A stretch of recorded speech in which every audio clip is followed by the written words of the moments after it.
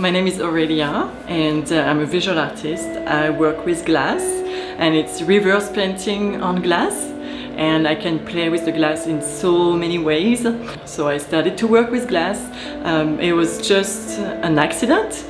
Uh, I broke one of a picture frame I had at my place and then one of the glass remained intact and the other one was broken. But when I saw that, I was disappointed, but at the same time, I saw that as an opportunity to work with a new kind of medium. So I always travel with some brushes and some acrylic with me, so I decided to apply some acrylic on it. I started again to create a new type of, of painting, a new uh, artistic creation, just by putting all the small pieces of glass together. And I just love the way the paint flows on the glass. It was just amazing. And everything started from there. So amazing to connect with people and be able to uh, connect everybody with art.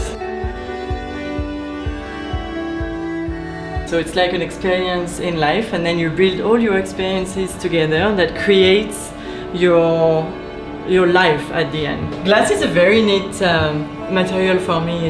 It's actually fragile and solid at the same time. It intensifies uh, the colors and I can play in so many ways with the glass. Like it's, it's an amazing uh, medium to work with. So, so I want people to focus about the beauty of ordinary things surrounding us.